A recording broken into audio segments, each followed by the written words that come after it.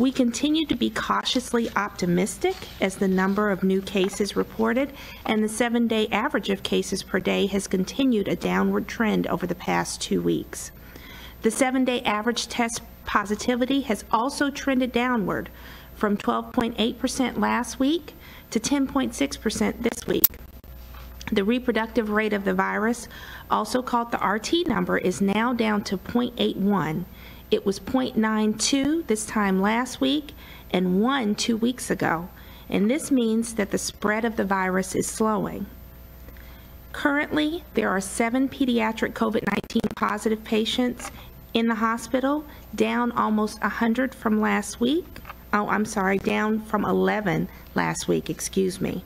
That is very encouraging news and an indication that masking in schools is working to protect vulnerable children who are too young to be vaccinated. These trends are encouraging, but to bring the pandemic to an end here in Shelby County, we must continue the course by continuing to mask in indoor settings, observing social distancing, and most of all, by getting vaccinated.